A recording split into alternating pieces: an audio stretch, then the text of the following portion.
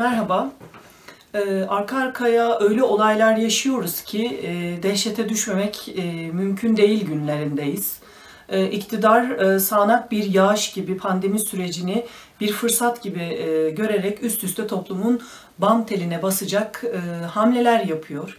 E, İş Bankası hisselerine el koyma tartışmalarının yeniden e, başlaması, belediyelere kayyım atamaya devam edilmesi, gözaltılar, e, tutuklamalar, Sevda Noyan'ın Hitler dönemini hatırlatan komşularının listelerini çıkartması, sesini, sözünü söyleyen herkesin hedefe oturtulması, İbrahim Gökçe'nin ölümüne üzülen ve duygularını ifade eden hakimin HSK tarafından görevinden uzaklaştırılması ee, aslında hepimiz için e, gelecek e, günlerin e, habercisi halinde. Üstüne bir de meslek odalarının seçim sisteminin değiştirilerek özerk yapısının müdahale edilmesi için hazırlanan yasa taslağı, bütün bunları bir arada düşündüğümüzde aslında tarihsel bir dönemden geçtiğimiz, iktidarın doğrudan bu yapıları hedef alarak aynı zamanda ülkenin demokratik yapısını hedef alan, rejimini hedef alan adımlar attığının da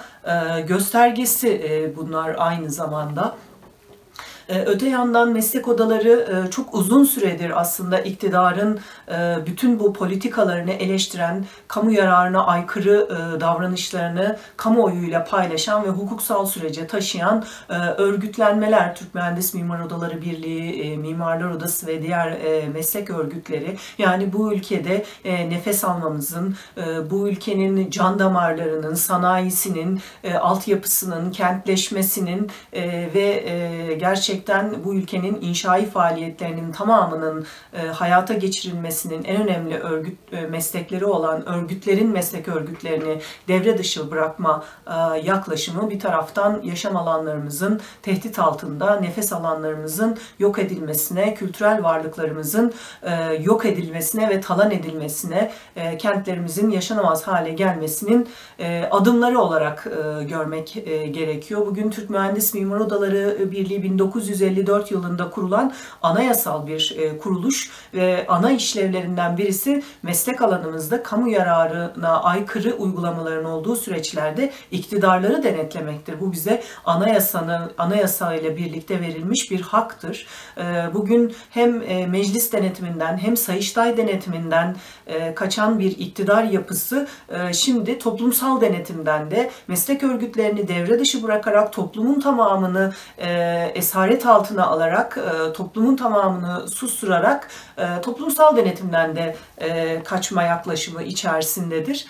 Bu ülkenin her karış toprağının, suyunun, ağacının, ormanının, kültür varlıklarının, sağlıklı kentleşmesinin ve cumhuriyet değerlerinin korunmasının sigortası olan meslek örgütlerimizin hedef alınmasının arkasında yatan şey toplumu tek sesleştirmek, teslim almak ve ultra otoriter bir rejim kurmak. Eğer bu örgütlerimiz olmasaydı, Türk Mühendis Mimar Odaları Birliği olmasaydı, Mimarlar Odası olmasaydı, Atatürk Orman Çiftliği'nde, Saraçoğlu Mahallesi'nde, Ulus Tarihi Kent Merkezi'nde, Kanal İstanbul'da, Salda'da, Munzur'da, Sur'da, e, Hasankeyf'te, Cerrahtepe'de ve Kaz Dağları'nda ve ülkenin her karış toprağında yapılan talanları kimler açığa çıkartacaktı?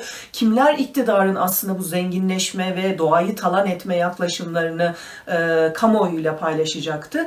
Bütün bunlardan rahatsız oldukları için meslek odalarının da e, seçim sistemini değiştirerek, nispi temsil getirerek aslında seçimle alamadıklarını yasayla almaya çalışıyorlar. Tıpkı belediyelerde yaptıkları yaptıkları gibi seçimle alamadıklarını kayyımlarla e, koordine etmeye ve denetlemeye çalıştıkları ve e, halkın e, gerçekten e, gücünü gösterdiği alanlarda e, seçmenin e, yaklaşımını e, bertaraf etme anlayışlarıdır bunlar aynı zamanda.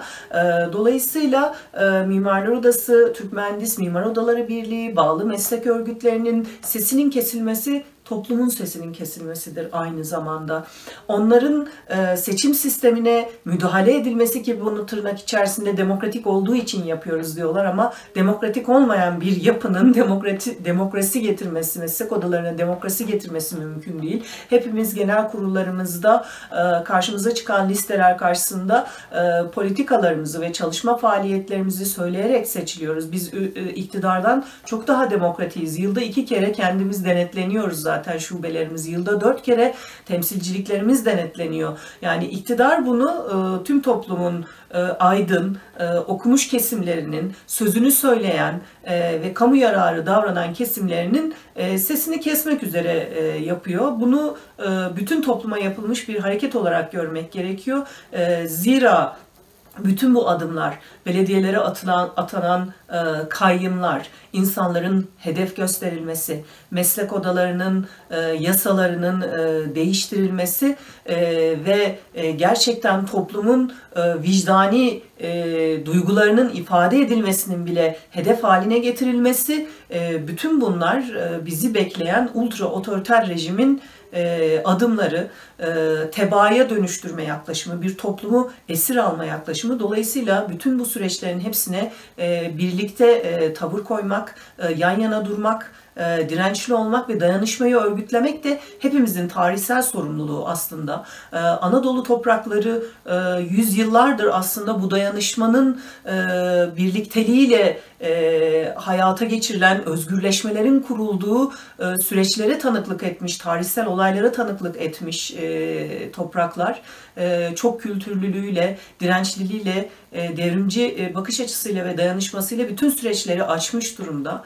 E, bugün işte bu ülkenin, bir ülkenin makus talihini yenmenin e, 101. yılının arifesinde olduğumuz 19 Mayıs'ta bu üstümüze gelen ve bizi teslim almaya çalışan, bütün herkesi teslim almaya çalışan, din, dil, ırk fark etmiyor, herkesi teslim almaya çalışan bu otoriter rejime karşı bir arada durmak e, sorumluluğumuz. Anadolu bunu başardı 101 yıl önce, e, şimdi de başaracak. Umudumuzu eksik etmeyelim.